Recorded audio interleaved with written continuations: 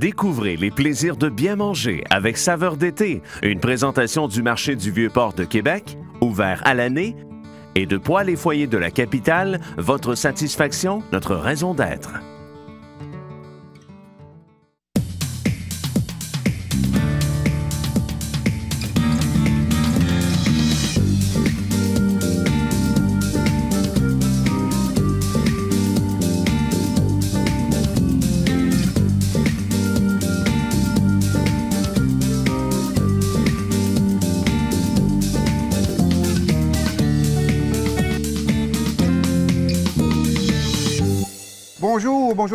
C'est avec un immense plaisir que je vous retrouve cette année pour une autre série d'émissions Saveurs d'été. En effet, Télémag produit cette année une très belle émission estivale de cuisine, évidemment, en provenance du marché du Vieux-Port. Pour ce faire, je serai toujours accompagné de notre chef consultant du marché, M. Arnaud Marchand, que nous allons retrouver dans quelques instants.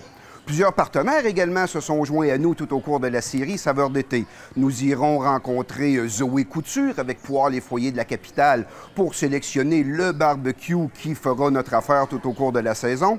D'ailleurs, également, notre nutritionniste diététiste, Madame Deslauriers, sera également parmi nous. Mais cette année, Anne a décidé d'aller rencontrer directement les producteurs chez eux pour savoir comment que vos légumes frais que vous achetez au marché sont cueillis et également la façon que la culture se déroule pour que vous ayez des denrées toujours les plus en plus fraîches dans votre assiette. Mais tout ça également est chapeauté par la cuisine du marché du Vieux-Port. Cuisine extérieure, comme vous allez voir au cours de la série, mais nous irons également dans une cuisine intérieure vous concocter certaines recettes grâce à notre chef. D'ailleurs, parlant de Arnaud, salut Arnaud, fait plaisir de te Comment rencontrer, ça va très bien. Tu as déjà commencé tes emplettes pour notre première recette. Oui. Dis-moi, est-ce qu'il y a un thème que tu voudrais aborder cette année? Donc cette année, je veux mettre en avant le- l'esprit casse-croûte. Donc on, on est capable de faire de la cuisine casse-croûte, mais en ayant des bons produits à l'intérieur. Donc ça, c'est un petit peu sur ce jeu-là qu'on va, cuisiner cette année. Ben, je veux déjà mettre l'épaule à la roue. Arnaud, est-ce qu'il y a d'autres denrées que tu aurais besoin parce que j'irai magasiner pour toi? Oui, ben là, en fait, on va avoir besoin de crevettes nordiques. On va avoir besoin aussi d'un bon petit pain artisanal. Et aussi, en même temps, on va prendre un petit peu d'oseille. Un peu d'oseille. Oui. Bon, ben, je suis parti de mon côté et on donne rendez-vous aux téléspectateurs tout de suite après la pause pour notre première recette estivale de saveur d'été. Merci. Bye. Arnaud. Donc je vais continuer avec euh, une laitue. Ouais.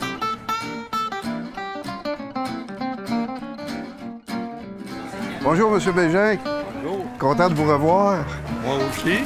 Je savais que j'avais la bonne personne à qui m'adresser. J'ai besoin d'oseille aujourd'hui pour ma recette. Ah, ça, ça me est. Oui. Ça, j'en ai. Ah oui. Ah, ça, c'est parfait, ça. Un plan d'oseille. C'est délicieux, pardon, ça. Ah oui, hein? Ah, c'est bon. Ben merci, M. Bégin. Je vous cuisine, puis je vous dis le, résultat de ma recette. Je vous remercie beaucoup, madame. Bonne belle journée, monsieur. Merci. À la prochaine. Au revoir.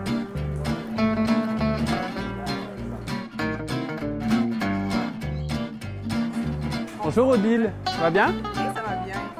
Ben Odile, écoute, euh, j'ai vu un peu l'étendue des, euh, des produits que vous avez ici. Je voudrais que tu me parles un petit peu de qu'est-ce que je pourrais choisir. C'est pour faire une mayonnaise. Euh, je vous recommanderais d'emblée la vinaigrette légumes du jardin épinglés. C'est vraiment une vinaigrette qui a un petit côté presque asiatique qui peut rappeler là, la sauce pour les roulons impériaux. Je vais en prendre une comme ça.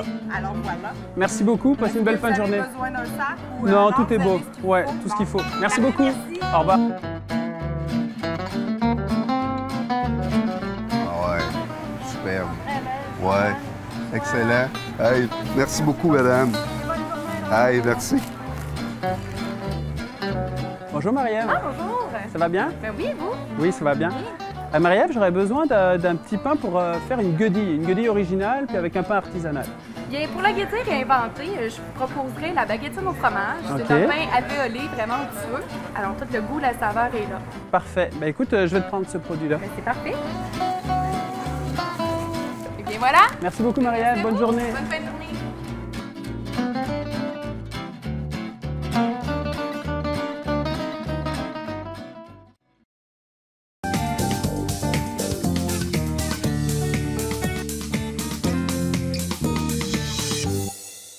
Alors, nous sommes de retour euh, pour votre épisode de Saveur d'été, notre première de la saison. Mais avant de commencer, euh, Arnaud et moi, en train de faire les préparatifs, il va de soi que nous devons représenter ici le marché du Vieux-Port, euh, Monsieur Kevin Pichette. Allô, Kevin? Salut.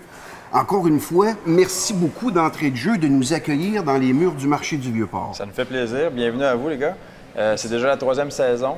On est très heureux de vous avoir encore cet été. Merci. Euh, écoutez, je vais vous parler un petit peu des nouveautés qu'on a au marché cet été. Euh, on a un nouveau projet de panier de famille qui a vu le jour cette année. Donc, Ah le oui. projet se fait souvent à la ferme chez les producteurs, mais cette année, on le fait aussi au marché. Au marché Donc, même. les gens peuvent venir chercher leurs produits semaine après semaine. C'est un abonnement. en C'est un abonnement. Et les gens viennent semaine après semaine chercher leurs produits chez le producteur au marché. Génial. Donc, peuvent rencontrer le producteur, discuter des produits, puis aller chercher un peu d'informations aussi sur certains produits qu'on ne connaît pas nécessairement, qu'on va découvrir à travers les paniers de famille. Et de profiter des arrivages les plus frais. hein? Exactement. Toujours prendre les produits les plus frais. Excellent. Euh, on a une nouvelle ère d'alimentation au marché. Donc, euh, c'est un nouveau concept avec notre chef euh, exécutif, oui. Arnaud Marchand. Arnaud qui a fait la carte, d'ailleurs, hein, le, le- menu en tant que tel. Bravo. Dans le principe que ce qu'on va faire un peu euh, pendant l'é- l'émission. Excellent. Donc, tout le concept est développé par Arnaud. Puis, euh, on invite les gens là, à venir découvrir les produits du marché à travers les recettes d'Arnaud. Donc, euh, encore une fois, le menu va suivre les arrivages. Ah, excellent. Dernièrement, à travers ce restaurant-là, on a une cuisine de démonstration dans laquelle on se trouve en ce moment. Donc, on est dans le restaurant. Euh, puis, on va se servir de cette zone de démonstration-là pour euh, animer le restaurant et mettre en marché et faire découvrir les produits aux clients euh, du marché du Vieux-Port. Excellent, parce que c'est souvent une question que les gens se posent. Il y a des beaux légumes, de nouveaux arrivages, mais on ne sait pas trop quoi faire avec ça. Puis je pense que cette cuisine-là va être véritablement le lieu pour donner les gens au truc la façon de cuisiner ces légumes-là. C'est exactement ça. Donc, on veut informer les gens et leur faire découvrir les produits de chez nous, finalement. Ben, en tout cas, en mon nom personnel, au nom de l'équipe de Saveurs d'été et Arnaud se joint Merci à moi, beaucoup. merci à toi, Kevin. Bonne saison. Ça nous, permet, ça, nous, ça nous permet, nous, de cuisiner les denrées les plus fraîches euh, jour après jour. Puis c'est pour ça qu'on fait des belles recettes également. On les apprécie, vos recettes. Merci, Kevin. Merci, beaucoup. Arnaud, revenons à nos chaudrons, euh, sans jeu de mots. Euh, Aujourd'hui, notre première recette dans ton concept casse-croûte, qu'est-ce que tu nous suggères? Donc aujourd'hui, on va faire une guédille. Une guédille. Ouais, Ah, guédille, bon, crevettes nordiques, avec une petite, euh, une petite salade de chou rave. On va Oh. légèrement parfumer avec une petite mayonnaise et euh, une vinaigrette au pain, parfumée légèrement au pain. Fait que, euh, Ça, c'est vraiment ton concept à toi. Un thème intégré des, des petits éléments un peu de, de notre, de notre province, hein, la forêt boréale. D'ailleurs, ton bistrot porte bien son nom. là. Oui, c'est ça. Chez Boulet Bistro Boréal, c'est vraiment la tendance d'avoir que des produits qui proviennent du Nord. Ah, oui. Puis ici, au, au casse-croûte, ben, c'est un peu le même principe parce que on est à côté des producteurs qui sont d'ici de Québec, de l'île d'Orléans, de Beaupré, de tout ce coin-là. OK. Donc, une guédille à base de crevettes nordiques, a anciennement appelée la, la crevette de Matane, finalement. là. Exactement, mais le, le nom, je pense maintenant, c'est vraiment crevette nordique. Crevettes nordiques, Oui. que j'ai gardé au frais parce que c'est un produit quand même relativement euh, fragile. Tu me fais confiance pour la, la mayonnaise? Donc, je vais te euh, laisser Arnaud? faire la mayonnaise. OK. Donc, moutarde, un petit peu d'huile d'olive, sel, poivre. Et puis, on va rajouter donc la petite vinaigrette au, euh, au pain, parfumé au, pain. Parfumé au Légèrement pain. euh, sucré, ça va- ça va être bon avec ça. Parle-moi du pain que tu as choisi, euh, Arnaud, pour euh, notre fameuse guédille. Donc, pour la, la guedille, là, j'ai voulu comme se démarquer par rapport au pain, par rapport au pain traditionnel de la guedille, je pourrais oui, dire. Oui parce un- qu'au au Québec, la guédille se fait souvent dans un fameux pain hot dog, Oui. si tu me permets. Puis là, on va, on va- on- j'ai choisi un pain artisanal qui est fait au levain. Puis en plus, il est parfumé au fromage. Donc, on a un côté aussi gourmand dans le pain. On va, on va se régaler avec ça. Tu me disais, Arnaud, comme euh, je m'apprêtais à faire ma mayonnaise, tu m'as dit, n'oublie pas, Sylvain, de mettre ton poivre et ton sel avant de rajouter ton huile. Il y a un petit truc culinaire derrière ça. Tu m'as pas dit ça à la légère. Non, c'est ça. C'est qu'en fait, quand on fait une mayonnaise ou même une vinaigrette, à partir du moment où on, on incorpore une émulsion, on, importe- on- on incorpore de l'huile, il faut comme mettre le sel et le poivre avant pour qu'ils se dissous dans, soit dans la moutarde, soit dans le vinaigre. Donc ça, c'est assez important.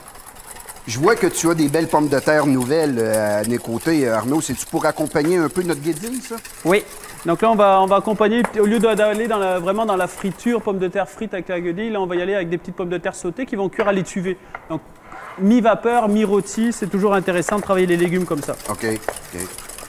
Moi, en tout cas, j'essaie de suivre euh, les, les recommandations euh, de la mayonnaise. J'émulsionne euh, ma mayonnaise avec de petites quantités d'huile à la fois. Puis tu vois, moi, de mon côté, Sylvain, la, la julienne peut être assez grossière. Une fois qu'on va mettre la mayonnaise à l'intérieur, ça va comme se ramollir, ça va cuire un petit peu avec le côté vinaigre de, de tout ça. Ça marche. J'ai bien hâte de goûter à le petit ajout de ton, ta vinaigrette épicéa euh, qui est euh, typiquement québécoise en passant. Oui, hein. oui c'est ça. En plus, je pense que c'est euh, tous les bénéfices, c'est pour, euh, pour aider. euh, c'est un but social, je dirais, au niveau de la vinaigrette. Oui, ben, j'aime le, le côté social, comme tu dis. Bon, ben, pendant que je termine mon, mon émulsion de, mayonnaise et que Arnaud termine de couper son chou rave, légumes en passant que j'ai connu grâce à mon père qui avait un potager lorsque j'étais jeune et que j'aimais bien croquer dans un chou rave à l'occasion. Je trouve que ça marie bien le goût du, du chou de siam et du radis. Ben, nous, on va s'absenter pour la première fois, euh, mesdames et messieurs. On va préparer euh, nos, euh, nos choses, nos crevettes nordiques. On va mettre nos patates à cuire et dès le retour de la pause, on continue avec euh, notre guédille euh, réinventée façon Arnaud.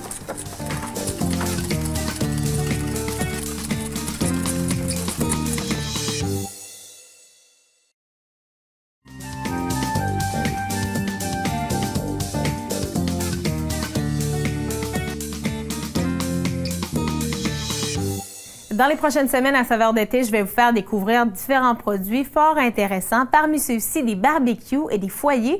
Et pour me guider chaque semaine dans cette fabuleuse aventure, Daniel Simard de Poil et Foyers de la capitale qui sera là pour me guider. Allô, Daniel? Bonjour Zoé. Cette semaine, tu nous parles des produits de la marque Sabre qui utilise l'énergie infrarouge. Comment ça fonctionne? C'est un système infrarouge à 100% Euh, C'est unique à Sabre. Donc, c'est un système en, en acier inoxydable 304, donc c'est un grade commercial. Contrairement à des systèmes qui sont en porcelaine, qui craquent, qui se désagrègent, ça, c'est beaucoup plus durable et facile d'entretien. On voit qu'il y a trois grilles, trois cadrans. Est-ce que c'est qu'on peut faire cuire trois éléments séparément sans que, que ça ait un impact sur la cuisson l'un de l'autre? Exactement. Ici, à l'intérieur, qu'on ne voit pas, il y a des, il y a des espaceurs. Donc, euh, j'ai un cadran par zone de cuisson. Je peux aller faire une grillade comme un, un système qui requiert plus de temps. là. Les barbecues Sabre, est-ce qu'on peut les utiliser à longueur d'année? Parce qu'on aime ça l'hiver, se donner un petit coup de chaleur puis utiliser les barbecues. Est-ce que c'est possible sans que ça ait un impact sur la cuisson? Oui, exactement. Vu son système infrarouge, donc qu'il pleuve, il neige ou euh, qu'il fasse froid, c'est les mêmes cuissons à longueur d'année. Il n'y a pas de problème pour ça. Et je sais que les gens, ce qui le regardent beaucoup lors de l'achat d'un barbecue, ben, c'est la facilité d'entretien, le démarrage. Est-ce qu'on parle de quelque chose d'autre gamme qui va être très facile à utiliser? OK. Pour le démarrage, c'est vraiment pas compliqué. Il y a un système ici électronique. Donc, c'est une pulsion rapide. Donc, ça, ça évite les explosions dans la cuve. Pour l'entretien, on ferme le couvercle. Donc, on va faire chauffer une dizaine de minutes. On va brosser le- nos grilles. Ensuite de ça, on va ramasser les débris ici en dessous sur le plateau, tout simplement. C'est donc très facile. Ici, je vois qu'on a un petit brûleur pour conserver la chaleur des aliments avant de passer à table. C'est ça. Ou faire sauter des légumes, peu importe. Euh, Qu'est-ce qui est intéressant, c'est qu'il est encastré dans la tablette. Donc, je ne perds pas les BTU quand ils vendent. On voit vraiment que c'est un barbecue qui est super complet ici. Un barbecue familial, très grand. Est-ce que vous en avez d'autres modèles en magasin? Oui, j'ai des quatre brûleurs un petit peu plus grands. J'ai des deux brûleurs pour les plus petites terrasses aussi. Puis j'ai même des encastrés, ceux qui ont des jardins d'été. Daniel, merci beaucoup pour les informations. Super intéressant. À la maison, si vous voulez avoir plus de détails, vous vous rendez tout simplement sur pfcapital.com. Je suis certaine que vous voulez connaître la suite de la recette. On s'en va immédiatement joindre Sylvain et Arnaud au marché du Vieux-Port. Cette capsule barbecue vous a été présentée par Poil et Foyer de la capitale. Votre satisfaction, notre raison d'être.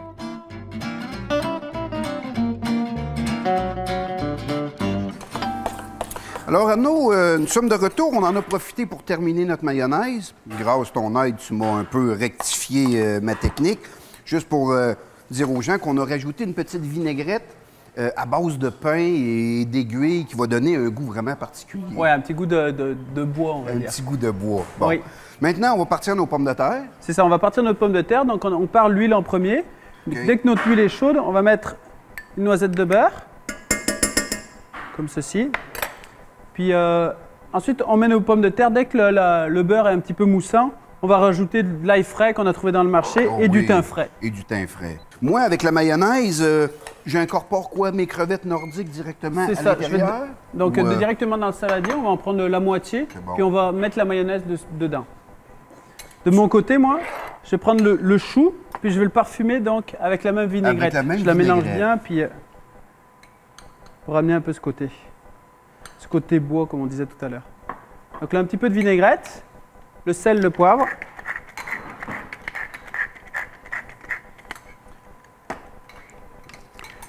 Ensuite, il ne nous restera plus qu'à couper nos, euh, notre pain. Puis on pourra comme ça le, le farcir et puis légèrement le toaster peut-être avant pour lui donner un petit, un petit côté croustillant. OK, excellent. Est-ce que tu veux que j'assaisonne ma crevette ou c'est suffisant avec la Elle est, mayonnaise? assez, elle est assez assaisonnée. Je pense qu'avec la mayonnaise, ça va suffire. OK. Dis-moi également, Arnaud, tu m'as fait arrêter euh, dans un, chez, chez M. Bégin, d'ailleurs, notre marchand de, de fines herbes, hein, qui, est- qui a toujours une très belle collection euh, d'herbes fraîches. Et tu m'as fait euh, ramasser de l'oseille. Donc oui, l'oseille, on, va la- on va le chercher un peu pour son côté acidulé un oui, petit peu. parce que ça coûte un peu la surette, comme on Ouais, appelait un peu comme la rhubarbe, Oui, un peu dans cet exactement. esprit-là. Donc ce qu'on va faire, on va la ciseler puis je vais la rajouter dans, dans mon céleri, dans mon chou, pardon, dans mon chou râle. Donc là, je vais lancer mes pommes de terre. On a un beau beurre moussant.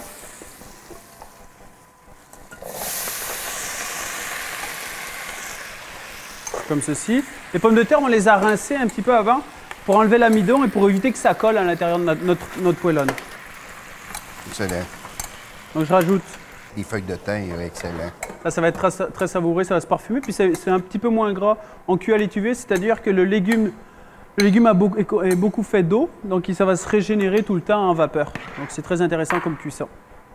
De mon côté, je vais rajouter donc, les petites feuilles. On va ciseler fin. C'est très intéressant, autant cuit que cru. là, J'adore vraiment l'oseille. Là, en plus, euh, je me suis laissé tenter tout à l'heure, Sylvain. J'ai récupéré des fraises euh, du marché. Donc ça, c'est ju- c'est pas pour la recette, ça, c'est juste par gourmandise. Elles sont magnifiques. C'est ça un petit peu le danger au marché, c'est qu'on vient pour acheter quelque chose, puis on trouve tout, tout le temps quelque ouais, chose on à... part avec quelque chose d'autre. hein. Hum. Excellent. que du bonheur. Et on est sûr qu'elles ont été cueillies le matin même. C'est ça, Oui. qui est, c'est ça qui est fantastique avec le marché. On pense pas hein, que la denrée que tu achètes au marché est si fraîche que ça. Et d'ailleurs, tout au cours de l'émission Saveur d'été, on va montrer aux gens que les produits qui sont sur les étals du marché, bien, elles ont été cueillies souvent avant le lever du soleil. Elles ont été transportées ici presque à la barre du jour, comme on dit. Et le soir même, toi qui as magasiné au marché, tu es avec une denrée que le matin même, il était toujours dans le champ du producteur. Et ça, c'est, euh, il n'y a pas d'autre place à Québec où on peut retrouver ça. Non, c'est ça. Et puis, on- ce qu'on- qu'on, fois, ce qu'on néglige, par exemple, dans des, dans des supermarchés, c'est que euh, les légumes ont tendance à, à- à rester sur les étals et un légume perd vite ses, ses- ses vitamines au bout d'un, deux, trois jours. Chaque jour, il perd beaucoup de vitamines. Donc, plus on la ferait, meilleur c'est pour la santé, puis meilleur c'est pour nous aussi. Absolument. Et dans le concept également qu'on essaye de se trouver des denrées le moins loin en kilomètres possible pour réduire le coût énergétique de la culture, bien, je pense que le marché démontre ça depuis belle lurette. Oui, vraiment. Bon, ben parfait. Donc, nous, nous, la salade de, la salade de chou rave est prête, donc avec l'oseille. On a le- les petites euh, crevettes. Il nous restera plus qu'à farcir notre pain, légèrement à le toaster, puis là, on va pouvoir déguster tout ça. On va pouvoir déguster tout ça, ben, c'est excellent, Arnaud. Donc, nous, ben, on se prépare tout ça et à notre euh, dernier bloc, ben, on monte ensemble notre euh, guédille à la crevette nordique.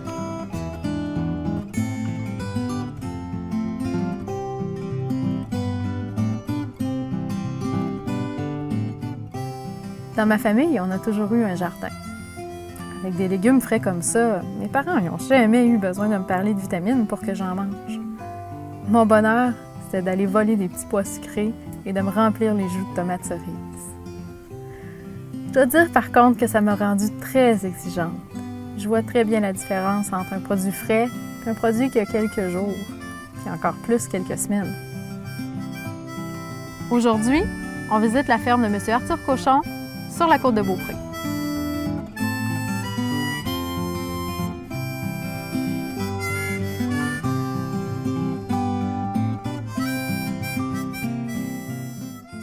Monsieur Cochon, un des éléments distinctifs de vos produits, c'est la fraîcheur. Euh, La fraîcheur, c'est ce qui est le plus important dans, dans un produit que les gens consomment. Puis nous, on a la chance ici sur la ferme, avec l'expérience puis toutes les connaissances qu'on a, bien, on, on va vers la cueillette de nos produits lorsqu'ils sont à, son, à leur meilleur, tu sais, à meilleur temps pour les, pour les, pour les cueillir. À pleine maturité. À pleine donc. maturité, tu sais, on parle de tomates, mettons, on attend que la tomate soit mûre après le plant, euh, les fraises, les cocombes, etc., etc. Ce qui fait un produit euh, supérieur au point de vue qualité, tu sais, la fraîcheur. Parce que la fraîcheur d'un produit, en fin de compte, c'est c'est son goût, c'est sa fermeté, c'est sa couleur. C'est tout ça qui fait qu'à un moment donné, tu as un produit de qualité. Mm. Tu sais, Puis nous, euh, nous en tant que, moi, en tant que producteur, puis en vendant mes produits au kiosque, puis au marché du Vieux-Port, ben, c'est ce que je recherche. tu sais. d'avoir les meilleurs produits possibles pour offrir à ma clientèle, tu sais, pour, pour me démarquer des autres, euh, de d'autres méthodes de vente. Nous, c'est de circuit court, donc Oui. plus, que le, plus que le temps est court entre la cueillette et la vente, mieux que c'est pour le consommateur. Ça, ça a été semé vers le 4-5 de mai sur le pays de plastique. Le pays de plastique, ça permet, euh, ça permet au sol d'être plus chaud. Ouais. Automatiquement, ben, ça germe plus vite. Ça garde l'humidité aussi. Ouais, ça garde l'humidité. Puis là, les racines ben, sont à la chaleur. Le plant pousse plus. Tous les jours, moi, je parle à mes clients. euh, c'est ce qui fait, c'est ce qui nous différencie des, euh, des, des chaînes. tu sais. Euh, les gens nous parlent, ils nous posent des questions, comment ça fonctionne, puis euh, telle variété, on est capable de répondre. tu sais. Comme là, tantôt, je, je peux dire, euh, un matin, quelqu'un me demandait si les framboises s'en viennent bientôt. J'ai dit oui, d'ici euh, 4-5 jours. tu sais. C'est, des choses de même qui fait qu'on on est capable de répondre à la clientèle. Il y a une étude en 2009, je lisais ça récemment, qui a démontré que le fruit et le légume moyen dans les marchés de grande surface parcourt donc en moyenne 5000 km. Ici, c'est combien de kilomètres jusqu'au Ah, marché ben, du Vieux-Port? Jusqu'au marché, c'est environ 10 à 15 km, peut-être 17-18 exactement. là. C'est toute une euh, différence. C'est pas beaucoup, c'est 20 minutes en, en voiture. Donc, euh, nous, on cueille le matin à 7 h, puis ma soeur part à 9h moins quart, 8h30 de la maison. Puis à 9 h, nos produits sont sur la table. Puis moi, je fais un deuxième voyage durant l'heure du midi. Donc, les produits, euh, c'est- au maximum de leur saveur. Bonjour, Madame Cochon. ça va bien? Ça va bien, ça va bien, merci. Comment vont vos récoltes cette année? Ah oui, c'est vraiment superbe. J'ai hâte de goûter à ça. Le marché, c'est un, lieu exceptionnel, c'est un lieu à découvrir parce que c'est le maximum de qualité que les gens peuvent avoir. tu sais. Et manger, quand tu manges des produits de qualité, ben, en, en conséquence, tu as une santé qui peut être meilleure. tu sais. Il y a beaucoup de. C'est ça. Les fleurs. Oui, il commence vraiment à être en fleurs. fleurs, Ben, il y a des fruits aussi. A là. des fruits. On voit que ça commence. La tomate, c'est un fruit, mais un légume. C'est un fruit. Oui. Mais c'est consommé comme. Botaniquement, c'est un fruit, Oui, mais c'est consommé comme un légume. c'est ça. c'est ça. Vous me posez une colle, hein, c'est ça? Ouais.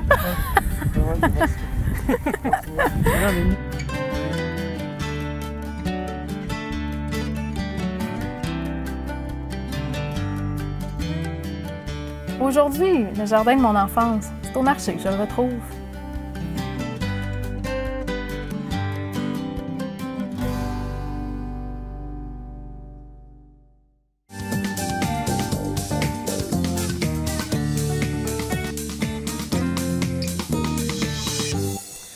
Nous sommes de retour. Euh, Arnaud, on est presque prêt à confectionner nos guédilles. Oui. Les pommes de terre ont- sont bien rôties. Et Ça a une belle couleur, un ça sent très bon, là. Un fumet incroyable. La feuille de thym frais, ton ail fraîche, finalement, euh, j'ai hâte de goûter à ça. Moi, j'ai fait chauffer un petit poêlon juste pour chauffer un peu le pain. Oui, on va juste lui donner un petit croustillant. Donc, on va pouvoir ouvrir le pain. Je vais Et ce que je peux te donner comme conseil, c'est que Oui. quand on fait un sandwich ou euh, quand on a un pain un peu plus petit, on enlève un petit peu de mie de pain sur le, dans notre pain, puis comme ça, on va pouvoir plus le garnir. Ce sera plus Ah! facile pour refermer ensuite. Ben, je vais faire ça. Quelle bonne idée. Donc, je vais prendre le haut du pain. Je vais juste y en enlever un petit centimètre à peu près. ça, tu peux même y aller avec les doigts, là, c'est Ben vraiment oui. pas gênant. là. Donc là, on a le, le pain qui est juste toasté. On n'est pas obligé d'aller chercher une coloration, c'est comme pour lui redonner une petite. euh, comme s'il sortait du four un petit peu. Ça marche. Fait que là, je vais te donner un coup de main. Vas-y. Je fais chauffer mon deuxième. Là, je peux mettre ma crevette dedans un petit peu. Ensuite, tout à l'heure, j'avais récupéré une belle laitue, donc on peut ajouter un petit peu de laitue à l'intérieur. Oui, parce que les, les salades sont très belles ces temps-ci au Oui, marché. hein. vraiment. Et puis là, je vais compléter avec la petite salade de choux. Donc on, a- on va avoir euh, Euh, une guedille qui va être très fraîche, très gourmande en même temps. On a- tout le monde va être heureux avec ça. Le complace. Puis là, je vais rajouter le- les petites pommes de terre sautées. Comme ceci. je pense que ton concept de casse-croûte est très bien respecté ici, euh, Arnaud. Une guédille avec une petite patate euh, rissolée, c'est vraiment... euh, C'est toujours la même thématique. C'est toujours, on, essaye de remplacer les choses qui sont les, les- peut-être les moins santé, qu'on pourrait dire, par des choses qui pourraient être euh, toujours aussi bonnes, aussi gourmandes, mais en enlevant un petit peu de gras puis utiliser un petit peu les, les techniques différentes qu'on peut avoir en cuisine. Et déjà, des yeux, euh, on, on sent qu'on a hâte de, de croquer dans cette, euh, cette guédille à la crevette nordique. As-tu vu les beaux morts de la poissonnerie? Hein? je, pensais, que- il y avait des très beaux moments. je pensais que la saison était terminée, mais euh, loin de là. Hein? Donc ici, les petites pommes de terre sautées. Si euh, tu me permets, Arnaud, euh, moi, euh, je vais peut-être rapatrier une de tes assiettes pour euh, voir si euh, la guédille euh, typiquement québécoise, euh, rehaussée à la façon Arnaud, est, est digne euh, de, De ce la- nom? de l'émission euh, Saveur d'été. Hein?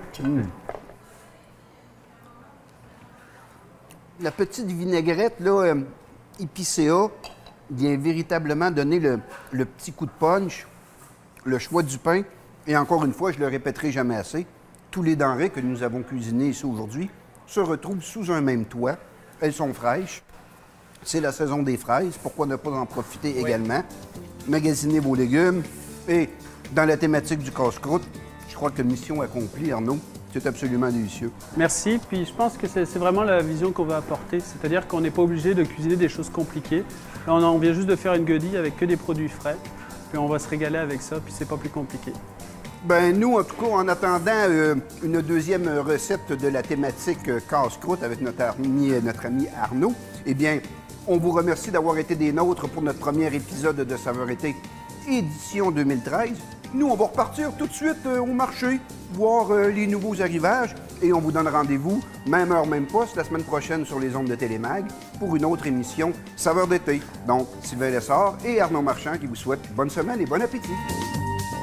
Découvrez les plaisirs de bien manger avec le marché du Vieux-Port de Québec, ouvert à l'année.